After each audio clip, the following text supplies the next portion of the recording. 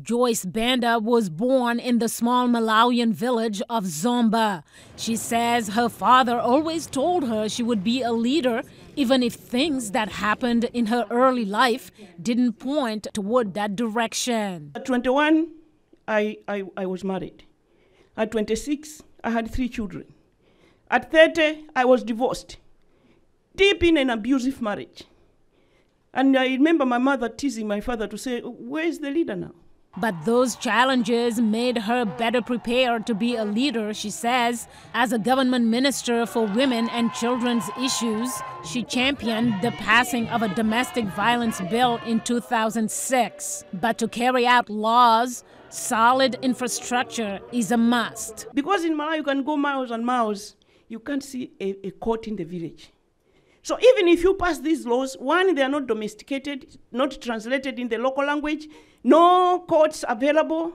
This woman will just suffer in, silently. Based on a publication released earlier this year, Banda presented a toolkit that details how policymakers, civil society, community leaders, and the international community can advance women to leadership roles in Africa. So, the first uh, recommendation I make is to enhance political will to empower girls and appoint qualified women to leadership positions. Something the founder of a Benin youth group hopes will create more support among young people. I'm a physician, I'm a public health researcher, I'm a maternal and child health activist, but I want to see around me this ecosystem of young women, of women, of men who are supportive and who can believe in my dreams. To do that, men must be educated. Men don't like to be you know, unknown. For example, if you explain to Willie men that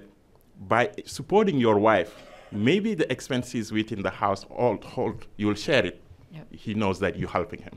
But while progress has been achieved, you see, as much as things have changed, how little things have changed. The violence in parts of the continent are constant reminders the road ahead is filled with uncertainties. Mariama Diallo, VOA News, Washington.